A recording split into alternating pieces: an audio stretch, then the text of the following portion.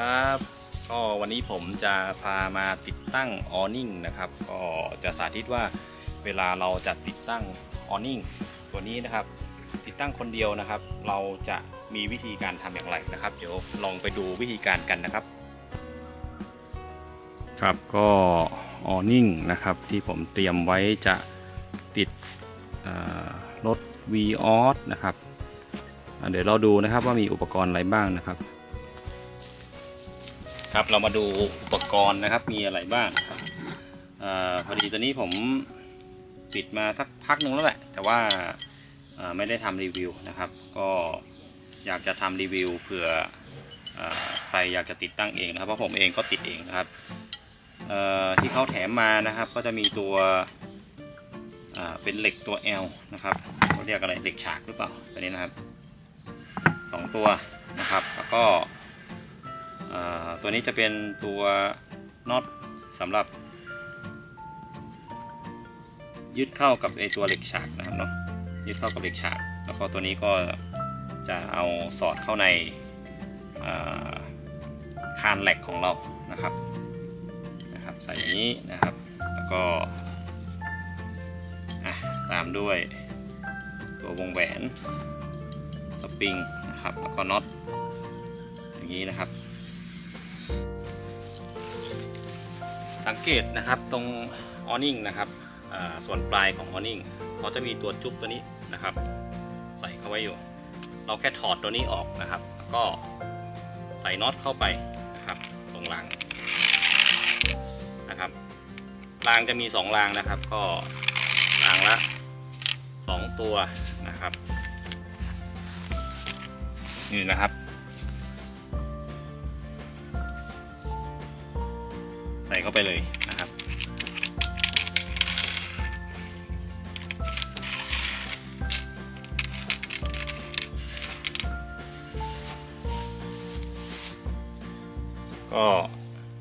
ปิดไว้ก่อนกันน็อตล่วงหายนะครับ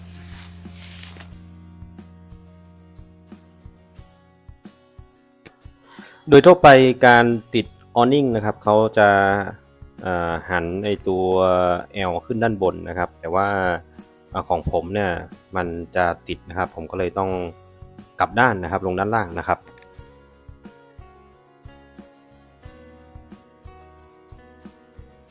เหตุผลที่ผมกางเต็นท์ก่อนนะครับ ก็เพื่อที่จะดูระยะนะครับของตัวเหล็กตัว L นะครับ กับตัวกระดองเต็นท์นะว่ามันติดกันหรือว่ามันเบียดกันหรือเปล่านะครับ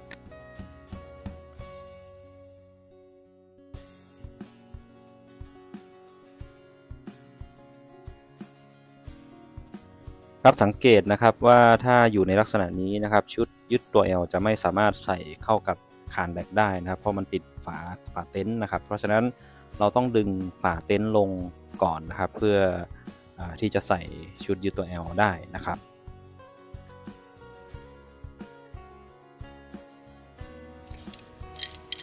ใส่อย่างนี้มาก่อนนะครับ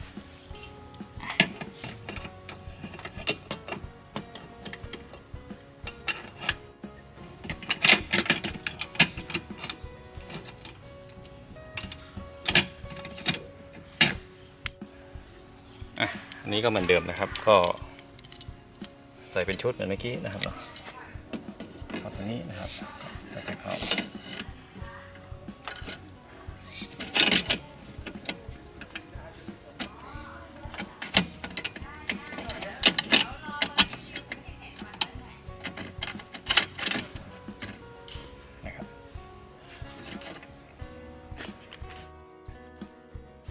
หลังจากที่เราใส่ชุดยึดตัว L ไปเรียบร้อยนะครับ เราก็จะลองเปิด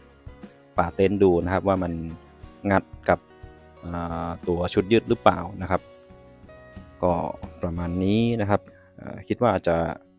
เบียดนิดหน่อยนะครับ แต่คงไม่ติดปัญหาอะไรนะครับครับเดี๋ยวเราจะยึดน็อตนะครับ ก่อนยึดน็อตนะใส่ตัวนี้ไปก่อนนะครับ อันนี้เรายังไม่ได้ยึดแน่น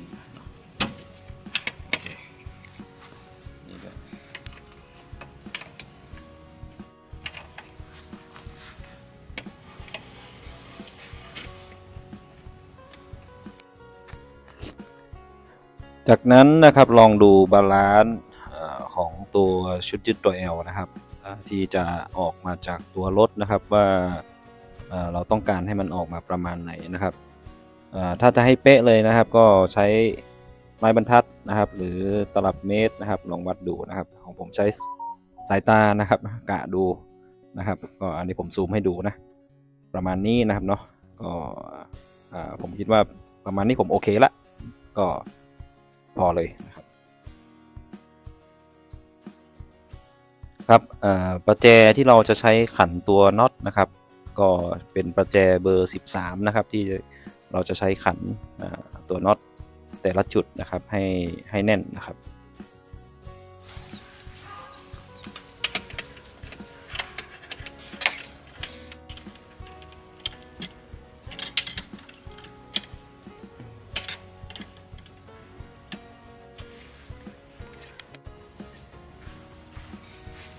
นั้นนะครับ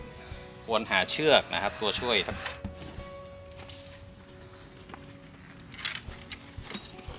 เนี่ยครับก็อันนี้คือน็อตที่เราใส่เตรียมไว้นะครับมีเชือกตัวนี้หน่อย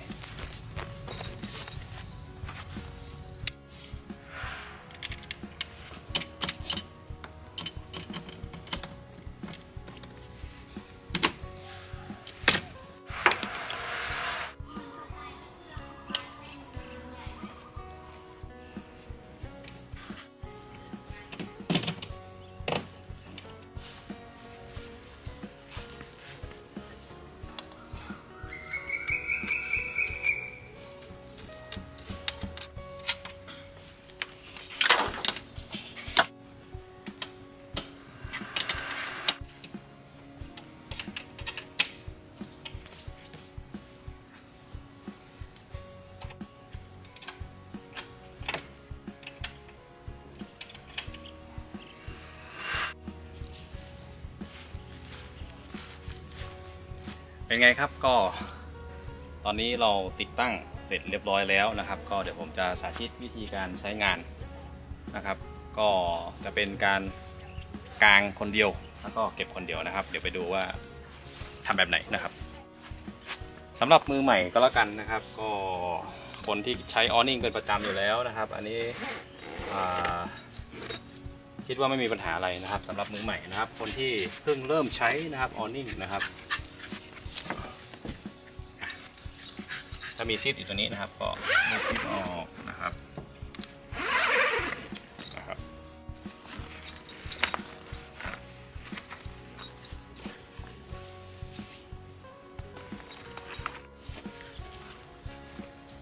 ก็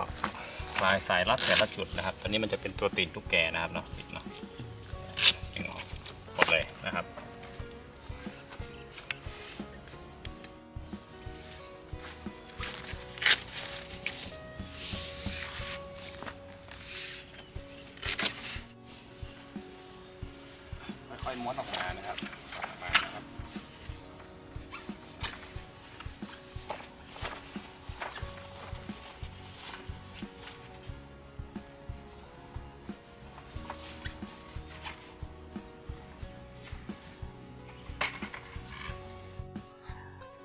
จากนั้นก็กางเสาทั้งสองข้างนะครับ ก็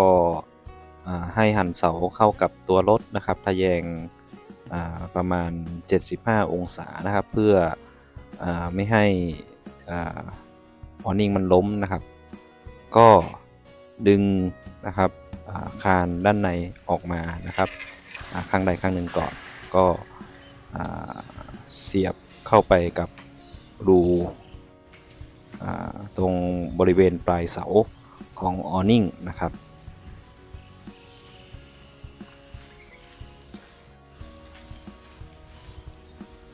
จากนั้นเราก็ไล่ติดอินตุ๊กแกนะครับ หรือว่า Magic Fastener นะครับให้ครบทั้งหมดนะครับที่ที่เขาติดมาให้ตรงผ้าใบของออนิ่งนะครับเนาะ แล้วก็ปรับคานอ่าให้ตึงนะครับเนาะอ่า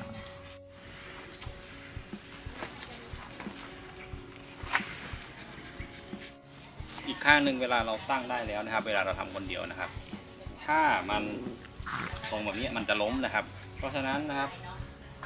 หามุมที่มันจะสามารถค้ำตัวมันเองได้นะครับครับแล้วก็จับ ชายผ้าช่วยนะครับ ก็ดึงเอาคาน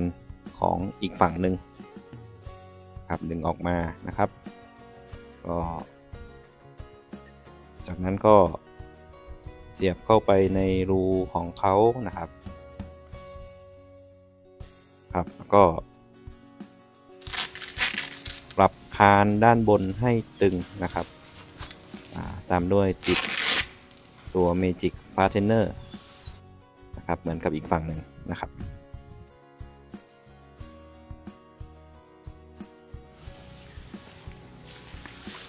สำหรับรถเก๋งนะครับคืออาถ้าเรากางขนาดแบบนี้เลยนะครับ มันจะเตี้ยเกันไปนะครับ เพราะฉะนั้นอ่าเราต้องปรับความสูงนะครับของเสาออนิ่งนะครับขึ้นหน่อยนะครับครับประมาณนี้นะครับเนาะก็อ่า ทรงมันจะเชิดไปด้านหน้านิดนึงนะครับ จากนั้นให้เรารัดเชือกนะครับเพื่อยึดสมอบกนะครับ ตรงรูสำหรับร้อยเชือกนะครับ จะมีตรงบริเวณด้านปลายนะครับของเสาออนิ่งนะครับ แต่ละด้านนะครับนี่สำคัญนะครับ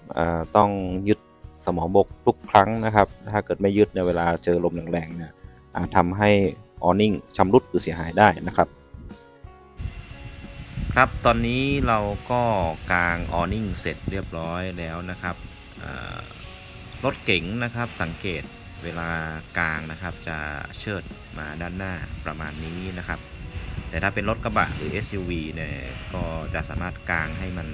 ขนานกับตัวรถได้นะครับ ถ้าเป็นรถเก๋งเราก็จะกางประมาณนี้นะครับเนาะ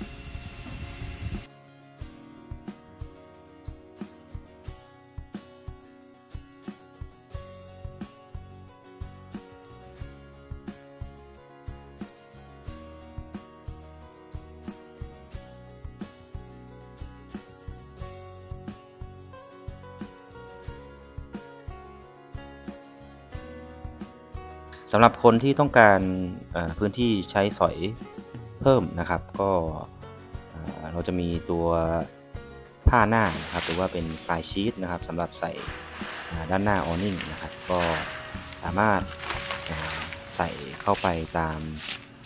าร่องนะครับที่เขาจะทำไว้ด้านหน้านะครับของออนิ่งนะครับ ได้เลยนะครับ ก็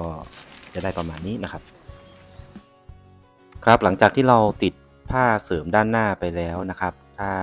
ใครต้องการพื้นที่เสริมนะครับ ด้านข้างอีกนะครับ อันนี้เราก็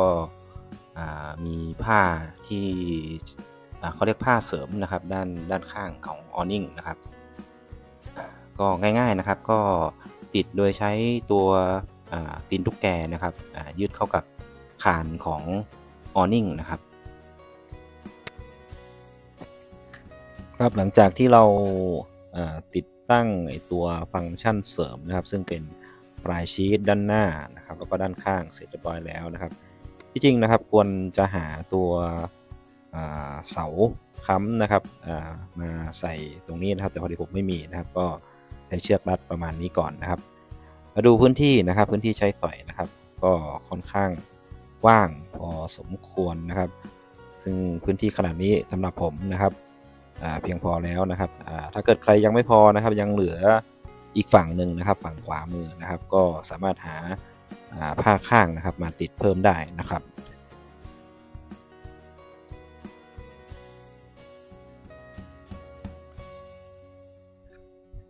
ครับถ้าดูจากมุมสูงนะครับ ก็จะได้ลักษณะประมาณนี้นะครับเนาะ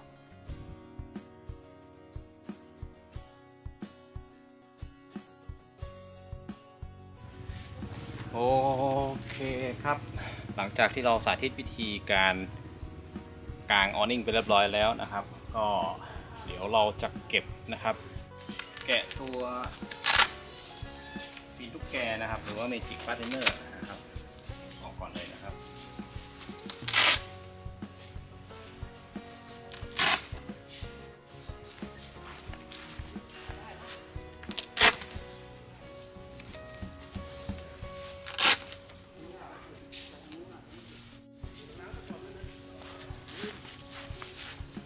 นี้เราล้างตัว awning นะครับ ไว้กับสมอบกครับ หรือว่ายึดไว้กับตัวสมอบกนะครับเเวลาเราเก็บนะครับตัวสมอบกเก็บเพิ่งเก็บนะครับ เอาหมุนตรงเสาคานตรงนี้นะครับ หมุนตรงนี้นะครับ หมุนสติดนะครับ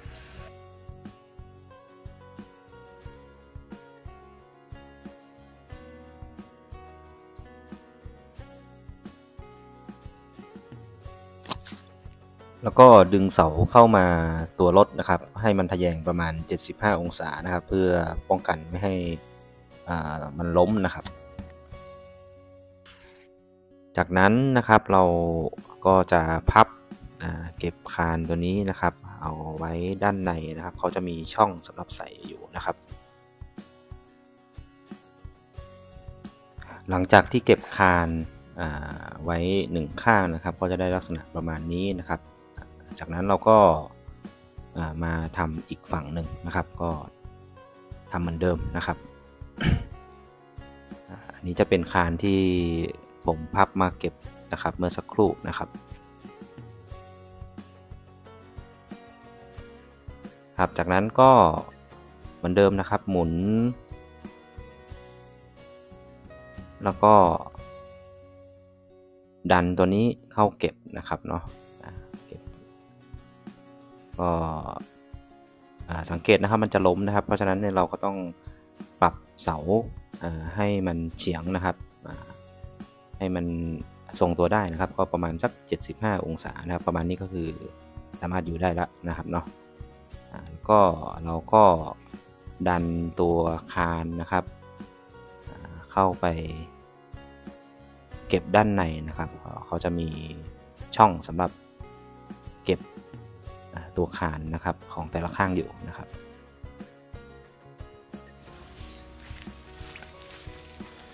จากนั้นนะครับเราก็เก็บเสา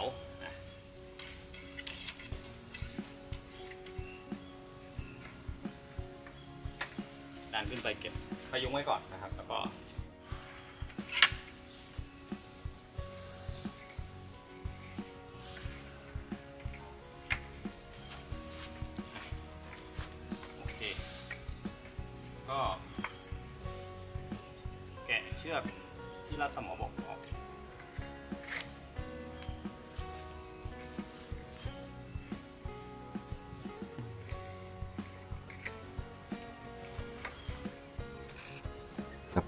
ค่อยๆม้วนเก็บนะครับให้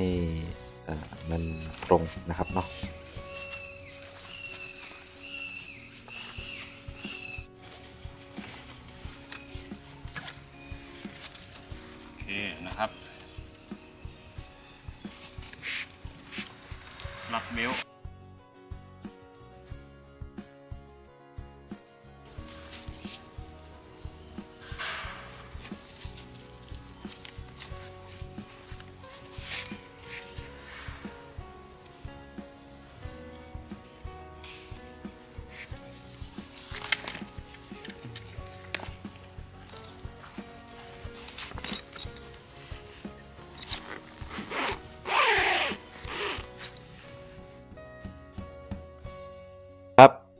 เป็นยังไงบ้างครับ ก็หลังจากที่เราอ่าดูการติดตั้งนะครับ แล้วก็การกางนะครับรวมถึงการเก็บด้วยตนเองนะครับไม่ยากนะครับ แต่วิธีการของผมนะครับ อาจจะไม่ถูกต้องทั้งหมด 100%นะครับแต่ตัวนี้จะเป็นไอเดียนะครับอของผมนะครับที่อยากจะแชร์ให้กับ ทุกคนนะครับอลองนำไปปรับใช้ดูนะครับ ก็หากใครนะครับมีวิธีนะครับการติดตั้งนะครับ หรือวิธีการวิธีเก็บนะครับที่มันง่ายนะครับ ก็อยากจะให้นำมาแชร์ทุกคนนะครับ แล้วก็คอมเมนต์เข้ามาได้นะครับ ก็วันนี้ก็ขอสวัสดีทุกคนเพียงเท่านี้ครับ สวัสดีครับ